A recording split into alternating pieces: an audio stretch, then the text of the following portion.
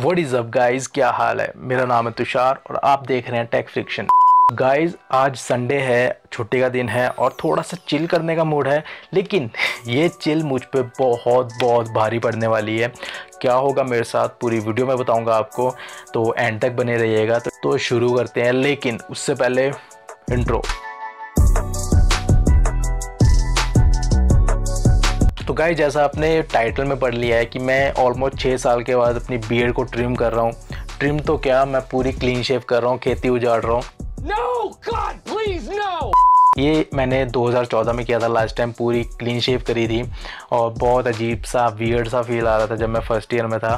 तो आज भी वैसा ही फील आ रहा है वियर्ड सा स्पेशल सा अजीब सा फील आ रहा है। तो मैं सोचा वीडियो बना के आप सबके साथ शेयर करता हूँ। तो देखते हैं कैसा लगता है, क्योंकि एक टाइम पे आता है यार कि आप किसी चीज़ से बहुत प्यार करते हो, लेकिन एक टाइम आता है कि आप प्रैक्टिकली उस चीज़ से ना थोड़ा नया एक्सपेक्ट करते हो। मैं कहूँ कि बोर से हो जाते हो। तो सेम वही मेरी बी के साथ भी है, मैं बहुत प्यार करता हूँ अपने बी से, लेकिन अभी फ़िलहाल मैं बोर हो गया हूँ इस बी से। थोड़ा सा नया लुक देना चाहता हूँ काफ़ी लुक मैंने ट्राई किए हैं इसमें, लेकिन अब थोड़ा सा क्लीन लुक देना चाहता हूँ, क्योंकि घर वाले भी गालियाँ मार रहे हैं कि क्या बन गया है तू? बाल भी इतने बड़े कर लिए, दाढ़ी भी इतनी बड़ी कर ली है कबीर सिंह बन रहा है। कबीर सिंह तो नहीं बन रहा हूँ। आज देखते हैं कि क्या बन पाता है, और मैं इसके लिए यूज़ कर रहा हूँ शॉमी का ट्रिमर ये मुझे शॉमी वालों ने दिया है। ऐसा नहीं बोलूँगा। शॉमी वालों ने रिव्यू करने के लिए दिया है। ऐसा भी नहीं बोलूँगा। ये मैंने खुद परचेज़ किया था एक या डेढ़ साल पहले और मैं आपको 100 परसेंट रिकमेंड कर सकता हूँ कि काफ़ी अच्छा ट्रिमर है ये। एक हज़ार या ग्यारह सौ का आपको ऑफलाइन या ऑनलाइन मिल जाता है। बहुत सही ट्रिमर है। इसकी बैटरी बैकअप इसका हाईलाइटिंग पॉइंट है जो मैंने आई थिंक एक या डेढ़ महीने पहले इसको फुली चार्ज किया था और अभी भी इसमें तीन सेल बचे हुए हैं। बहुत ही तगड़ा है और दूसरा फीचर इसमें कि आप इसको अपने फ़ोन के साथ चार्ज कर सकते हो यार। और क्या चाहिए? और इसमें अलग अलग मोड्स हैं कि आपने जैसा साइज़ रखना है, अपने ब्लेड्स का वैसा कर सकते हो। और ब्लेड से याद है इसके ब्लेड्स बहुत ही सही हैं, आप जैसे मर्ज़ी। ब्लेड निकल गया। गाइड तभी बोलते हैं रिव्यू मैनल पढ़ लेना चाहिए। ब्लेड निकल गया ब्लेड लग नहीं रहा है अब। मैं बहुत कोशिश कर रहा हूँ पिछले दस पंद्रह मिनट से, पर ब्लेड नहीं लग रहा है यार। तोड़ दिया मैंने? आई थिंक तोड़ दिया क्या? नहीं, तोड़ा तो नहीं है यार। आवाज़ बड़ी मस्त आ रही है, देखो। चलो हार्डकोर टेस्टिंग भी हो गई है, लेकिन यार ब्लेड तो लगा मैंने आगे दाढ़ी ट्रिम करनी है यार। तो गाइज़ फाइनली 20-25 मिनट के बाद मैंने ब्लेड को सही तरीके से लगा दिया है। तो हम क्या बात कर रहे थे? हाँ इसके बारे में बात कर रहे थे। गाइज़ बहुत ही सही ट्रिमर है। मैंने इसको यूज़ किया है काफ़ी। आई थिंक ये 10 मिनट चार्ज करने के बाद एक या डेढ़ घंटा चल जाता है आराम से तो इनफ है। और वाटर प्रूफ है, आप जैसे मर्ज़ी यूज़ करो, पानी के अंदर यूज़ करो, पानी के साथ यूज़ करो अंडर वाटर यूज़ करो। अंडर वाटर तो कौन यूज़ करेगा? बहुत ही सही ट्रिमर है, मैं आपको 100 परसेंट रिकमेंड करूँगा कि बिल्ड इसकी बहुत अच्छी है क्वालिटी इसकी बहुत अच्छी है। आप देख सकते हो, मैं आपको 100 परसेंट रिकमेंड करूँगा।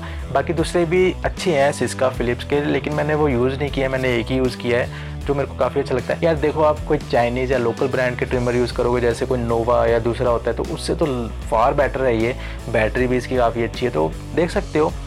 तो चलो, मैं आपको अब तीन काउंटिंग पे दूसरी क्लिप दिखाऊँगा जिसमें मैं बिना दाढ़ी के आऊँगा, पता नहीं कैसा लगूँगा। तो यार गाइस कमेंट करके बताना कि कैसा लग रहा है अच्छा लग रहा है, बेकार लग रहा है। क्योंकि घर वाले तो गालियाँ ही मार रहे हैं कि बेकार लग रहा है यार। आप मुझे बताओ कि अभी अच्छा लग रहा है दाढ़ी के साथ कि बिना दाढ़ी के अच्छा लगूँगा? जब मैं बाल छोटे छोटे कराऊँगा थोड़ा सा डिसिप्लिन वाला लुक आ जाएगा प्रोफेशनल वाला लुक आ जाएगा, पता नहीं कैसा लगेगा। अजीब सा लग रहा है, लेकिन मज़ा सा, मज़ा आएगा, एक नया सा आएगा रिफ़्रेशमेंट सी आएगी तो देखते हैं क्या बनता है। गए तो थ्री टू वन गाइस हो गया जो होना था। मैं बिल्कुल मन नहीं कर रहा दिखाने का पर क्या करूँ अब तो हो गया है। तो दुनिया के सामने तो अब आना ही पड़ेगा चाहे जैसे मर्ज़ी हो। तो one two three magic okay guys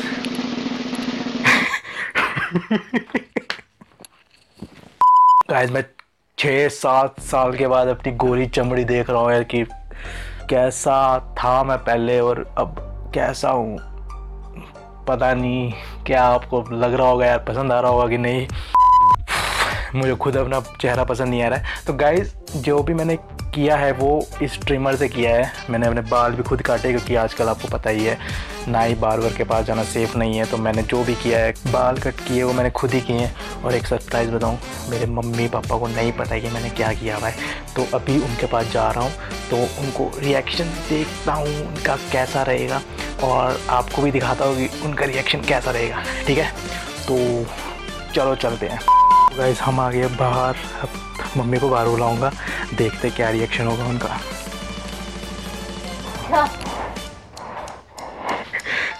चला गया आ, क्यों निकाली अजी अच्छा लग रहा इसलिए बेचना भी नहीं इधर ये कौन है तो गाइज़ ये है मेरा भतीजा। इसको आपने इंस्टाग्राम पे देखा होगा। मैं इसके साथ फ़ोटोज़ डालता रहता हूँ। अगर आपने नहीं देखा तो आप देखना।